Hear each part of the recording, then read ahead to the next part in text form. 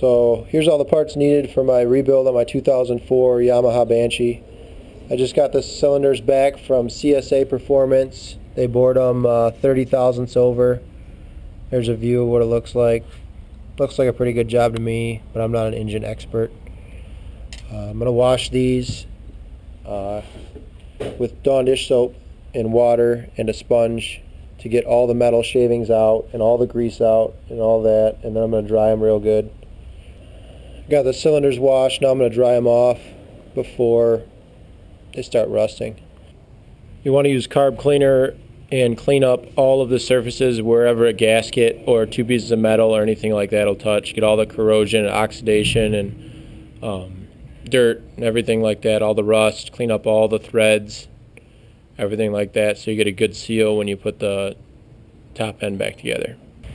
After you clean up the surface of where the cylinders and the gaskets are going to hit, you're going to want to clean up the connecting rods.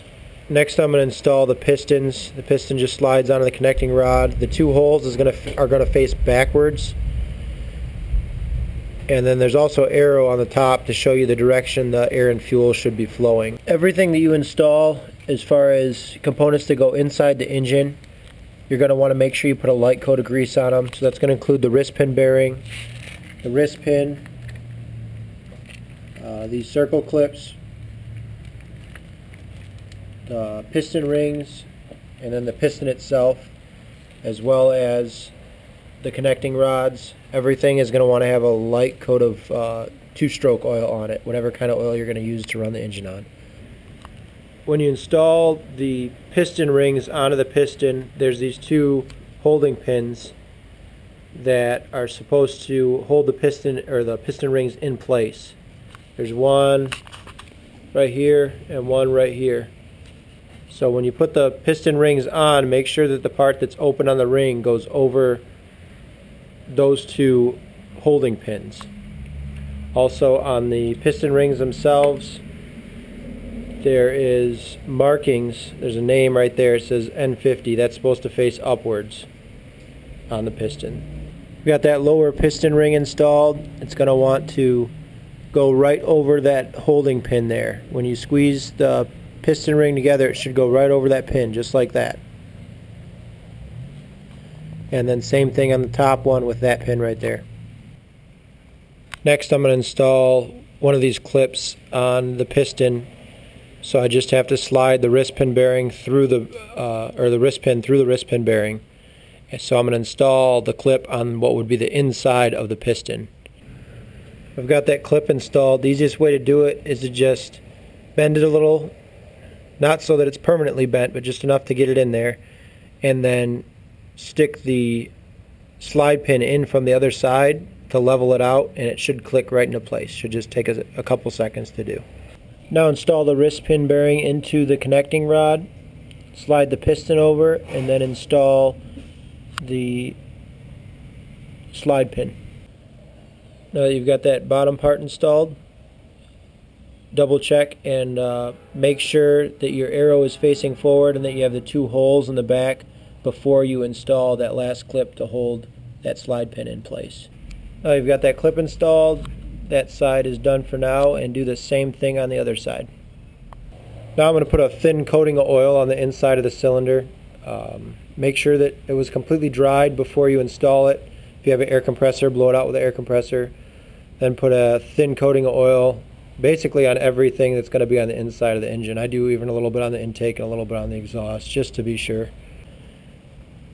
Now triple check that you have those clips in place that the piston rings are in place and marked where they should be and set up the way they should be.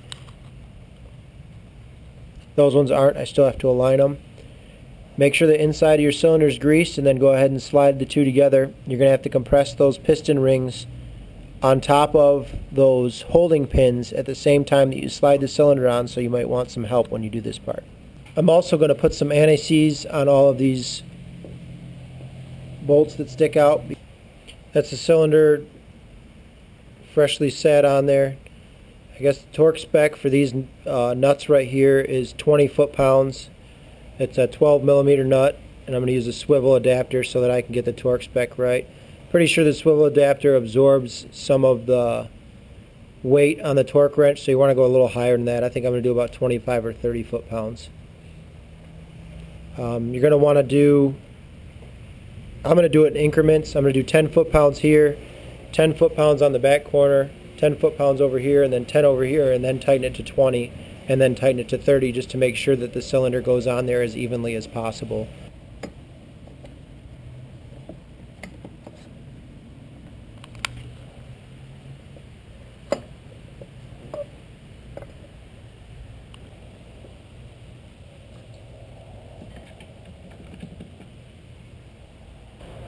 Now all eight of those bolts for the cylinders are torqued down to what should be 20 foot-pounds, but I had to set the wrench to 30 because I had to use that swivel adapter on a lot.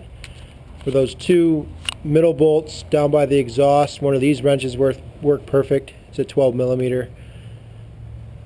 Anything else really is going to be difficult to get in there. You can't really get in there with a socket or anything. So get those tightened down. With the head gasket, you're going to want to put the up right there at the bottom, facing up. So this is the way it's going to be installed. Right like this. Now that I have the head gasket set on there, I'm going to install the head itself. The bolt order is on there. There's one, two, three, four, five, six, seven, eight, nine, and 10.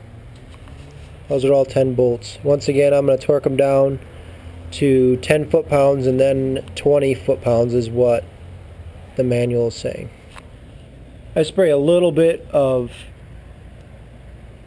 chain wax on my finger and then go around the inside of this coolant hose and then same with that one just to get them to slide on a little bit easier. Now I'm going to go through and torque all the head bolts in the order that it shows on the head to do them. I'm going to do them all down to 10 foot-pounds and then down to 20 foot-pounds with my torque wrench 12 millimeter, millimeter socket. The gap for these spark plugs, the BR8ES spark plugs by NGK is going to be 0.7 to 0.8. We put it right in the middle of that. Uh, double check your gaps. Uh, I'm going to install a little anti-seize on these and then we'll torque down the spark plug. I'm going to spray out the two coils with some electrical cleaner. Torque spec for the spark plug is going to be 20 foot-pounds. You have that washer on there, so it's going to take a little bit of effort to get them in. There we go.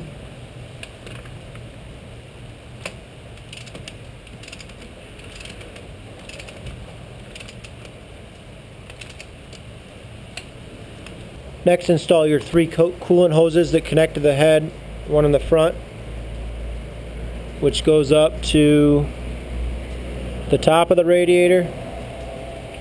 This one which goes down to the water pump. And then this one which also goes up to the top of the radiator. Install all three of those and tighten them down.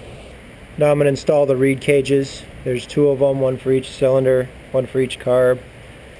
It's going to go gasket reed cage and then the rubber piece that goes in the back with the crossover tube. These are going to be the 8 bolts that are used to install the reed cages. For those 8 bolts it's a 5 millimeter Allen key wrench. Uh, I just tighten them down as hard as I could with it like this and then give it another quarter turn with it like that and uh, works out well. You just need to tighten it enough to hold the water out. Now that you've got the reed valves installed, you're going to want to install the carburetor. Um, little part goes towards the front, big part goes towards the back. Choke goes on the left-hand side. Really pretty simple. Uh, the more you take your carb out and put it back in, the easier it is to do because this rubber wears out a little bit. I've taken mine out a whole lot, so it should be pretty easy to pop in there. Carb comes out a lot easier if you pop the boot off, then put the front of the carb in, then slide the boot in, and then put that over each end. Now you're going to want to install your fuel lines and adjust your carbs to make sure that they're adjusted the same if you know where they need to be. And then don't forget your choke tube install which goes from right here to right there. Also you're going to want to make sure all your wires are grouped together Uh, zip tie 'em if you want them to look all neat. Uh, and they're going to run in between the carburetors, so make sure you install those before you install that second carb. Now you need to reconnect all your coolant hoses. There's one here, which feeds up through the middle of the carbs up to the top and tees off right there.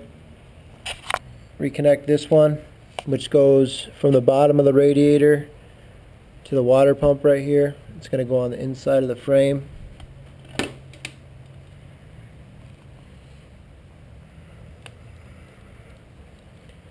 And go through and double check your uh, reserve hoses, which are right here. There's two of them that run from the radiator all the way back to your your overflow.